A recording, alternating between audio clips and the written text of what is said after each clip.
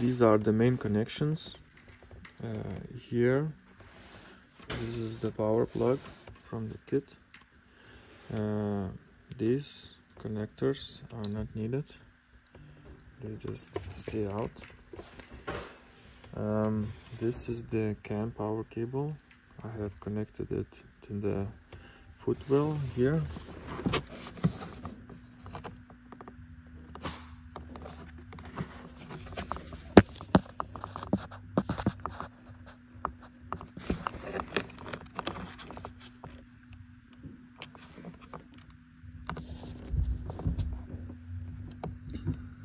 so I've connected here CAN cables. I soldered them and isolated. You need to connect orange green and orange brown. Same cables comes with the kit. Also there is another set of cables with the same colors. So you can try this.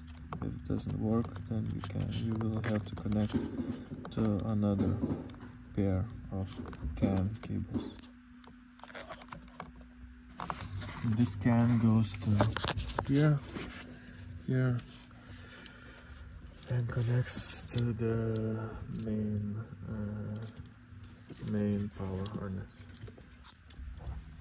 Here to the uh, originally also uh, they are orange green orange green and orange brown cables.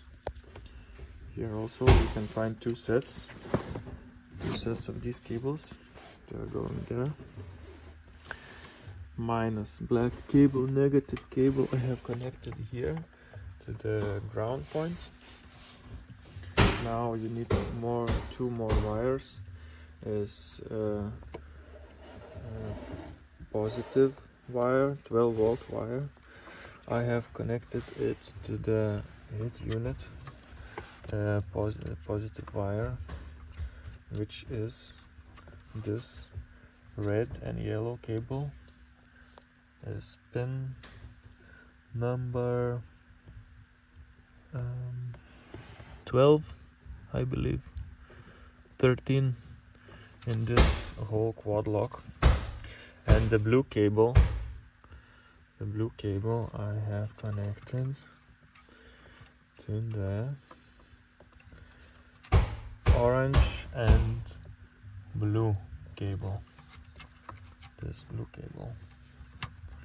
Here. This blue cable from the wiring goes to this orange and blue. And again 12 volt power supply goes to this cable red and yellow cable. And you can find them here in the center area of this quad lock. Additionally for aux you need to connect this cable. This is provided cable. You need to remove from the quad lock. This is original part. Then you insert this provided cable and then you bridge it here as well. The other end of the aux which comes from this cable is going to be connected to the main harness for audio. Otherwise you will not have audio.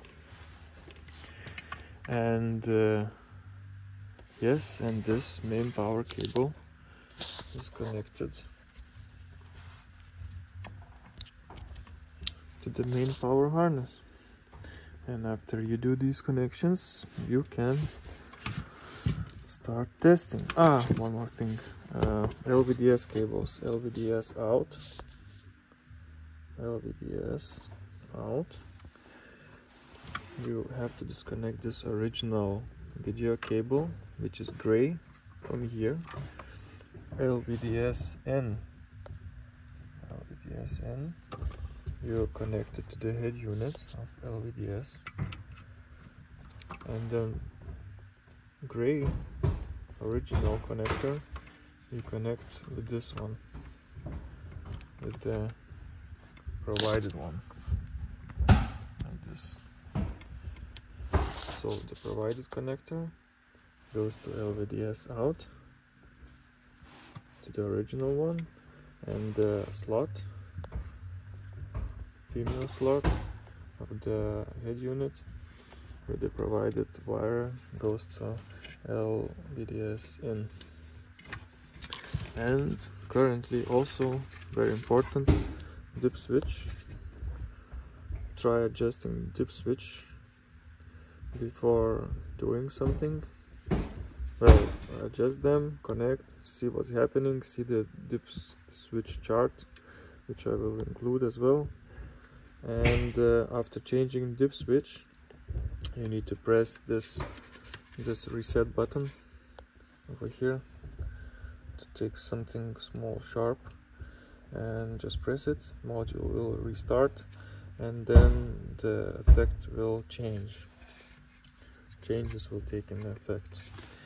And another thing regarding reverse camera the 8 number 8 for original camera control it has to be on and for aftermarket camera control it has to be off. We are installing reverse camera here as well. So we will connect uh, reverse camera 12 reverse camera video here and uh, we will give it power with this wire. This is rear 12 volt rear 12 volt wire yes. So yeah. this is it